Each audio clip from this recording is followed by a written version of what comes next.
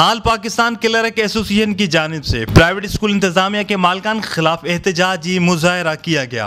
मुजाहरीन का कहना था कि प्राइवेट स्कूल के मालकान बगैर किसी नोटिस के फीसों में इजाफा कर रहे हैं। उन्हें कोई पूछने वाला नहीं।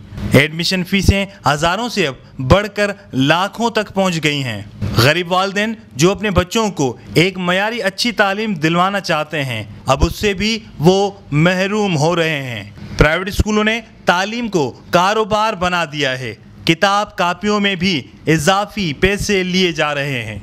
मुजाहरीन ने वज़ीर अजम Imran Khan, chief justice Sindh high court, वज़ीर अला सिंध, वज़ीर तालीम से मुतालबा किया कि फौरी तौर पर प्राइवेट स्कूल इंतजामी के खिलाफ कार्रवाई करके वालदेन को इंसाफ फराम किया जाए। कैमरामैन अलीजान के साथ Imran Shah Lakiyari online Indus TV, Hyderabad.